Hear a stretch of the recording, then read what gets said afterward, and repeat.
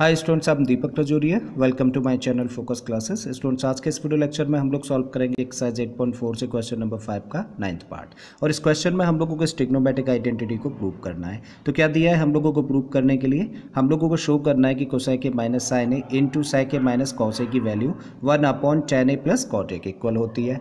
ठीक है? तो चलिए स्टार्ट करते हैं और स्टिग्नोमेटिक आइडेंटिटी को प्रूव करते हैं। अब इसको स्टार्ट कर रहे हैं हम लोग आइडेंटिटी की लेफ़्ट हैंड साइड से। तो एक बार हम लोग लिख लेते हैं। लेफ़्ट हैंड साइड में क्या दिया है हम लोगों को?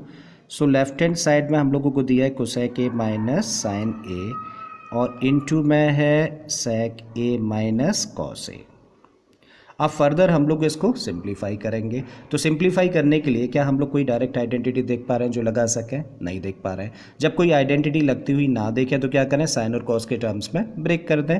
ठीक है तो कर देते हैं। कोसैक ए को हम लोग तब क्या लिख सकते हैं? इसको लिख सकते हैं one upon sine A minus का साइन है और फिर साइन ए है। इसको एज इट इज़ लिख दिया हम लोगों ने। अगेन सैके को हम लोग लिख सकते हैं one upon cos A minus का कॉस ए है, इसको एज इट इज़ हम लोग लिख देते हैं। फर्दर इसको सिंप्लीफाई करते हैं। अब देखो वन अपॉन साइन ए है ना तो वन तो ऐसे ही रखिए, माइनस का साइन ए लगा दीजिए। और इसको सिंप्लीफाई करने के लिए क्या करें साइन ए का मल्टीप्लाई करें साइन ए के साथ में। तो ये हो जाएगा साइन ए स्क्वायर ए और अपॉन में, क्योंकि डिनोमिनेटर यहाँ पे क्या है साइन ए ना तो नीचे आएगा साइन ए ब्रैकेट में है, पुट कर देते हैं। यहाँ भी इसको ऐसे ही सिंप्लीफाई करते हैं। वन है, रखा, माइनस का साइन है, लगा दिया। और कॉस का मल्टीप्लाई कॉस में करेंगे तो ये बन जाएगा कॉस स्क्वायर ए। और यहाँ डिनोमिनेटर क्या है? कॉस ए ना तो नीचे आ जाएगा कॉस ए। अब one minus sine square A क्या होता है? ये होता है कॉस स्क्वायर ए। तो one minus sine square A के प्लेस पर हम लोग रख सकते हैं कॉस स्क्वायर ए। अपॉन में है साइन ए। ठीक है, और ये ब्रैकेट में है, दूसरे ब्रैकेट में। One minus cos square A क्या होता है? ये होता है साइन स्क्वायर ए, और अपॉन में है कॉस ए। ठीक है, अब मल्टीप्लाई में है, ब्रैकेट्स ओपन कर देते हैं। So cos square A upon sine A, और ये है sine square A upon cos A. हम लोग देख रहे हैं साइन ए यहाँ नीचे है और यहाँ पे साइन स्क्वायर ए है। ठीक है तो यहाँ एक पावर से साइन की एक पावर कैंसिल हो जाएगी। कॉस ए से स्क्वायर वाली एक पावर कैंसिल हो जाएगी। ठीक है तो क्या बचा? यहाँ से बचता है तब साइन ए और कॉस ए।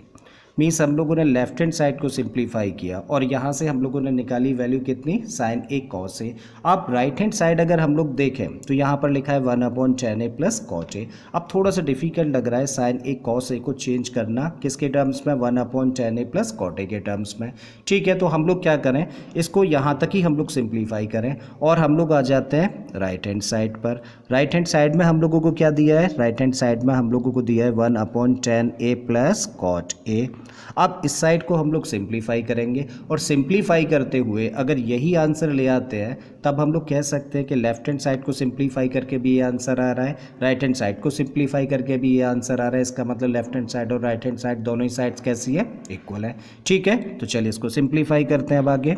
वन ऐसे ही लिखा हम लोगों ने टेन ए इसको साइन और कॉस के टर्म्स में ब्रेक कर देते हैं। तो टेन ए को क्या लिख सकते हैं? इसको लिख सकते हैं sine A upon cos A plus का साइन ए लगा देते हैं। कॉट ए को लिख सकते हैं हम लोग cos A upon sine A further इसको सिंप्लीफाई करते हैं तो वन अपनी जगह पर है अपॉन साइन हम लोगों ने लगाया। और इस डिनोमिनेटर पार्ट को हम लोग पहले सिंप्लीफाई करेंगे। तो यहाँ पे हम लोग देख रहे हैं इस डिनोमिनेटर में दो फ्रैक्शंस हैं। क्या करना पड़ेगा? सिंप्लीफाई करने के लिए एल्शियम लेना पड़ेगा। तो दोनों का एल्शियम कितना होगा? साइन ए कॉस ए ठीक है एल्शियम हम लोगों ने ले लिया। अब देखो कौसे यहाँ भी है कौसे यहाँ भी है। तो एक्स्ट्रा फैक्टर क्या है? साइन ए ना? तो साइन ए का मल्टीप्लाई इसके न्यूमरेटर यानी कि साइन ए के साथ में होगा तो ये क्या बन जाएगा? साइन स्क्वायर ए प्लस का साइन ए यहाँ पर लगा देते हैं। साइन ए यहाँ भी है साइन ए यहाँ भी एक्स्ट्रा फैक्टर क्या है? कौसे तो कौसे का मल्टीप्लाई इसके न्यूमरेटर यानी कि कौसे के साथ में होगा तो ये बन जाएगा कॉस स्क्वायर ए अब one upon sine square A plus cos square A. ये क्या होता है? One upon sine A cos A. ठीक है? अब अपॉन का अपॉन कहाँ जाता है? ऊपर जाता है। ठीक है? तो इस साइन ए कॉस ए का मल्टीप्लाई होगा किसके साथ में? वन के साथ में।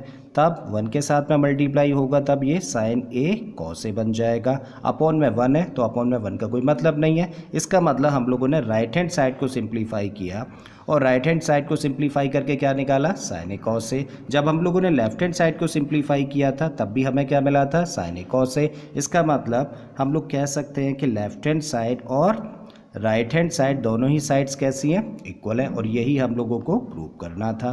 ठीक है? आई होप स्टूडेंट्स क्वेश्चन आपको समझ आ गया होगा। अगर ऐसा है तो प्लीज़ वीडियो को लाइक कर दें चैनल को सब्सक्राइब कर लें, और बाकी के क्वेश्चन के लिए आप मेरी प्लेलिस्ट में चले जाइए। इस तरह के बहुत सारे क्वेश्चन मैंने ऑलरेडी अपलोड किए हैं।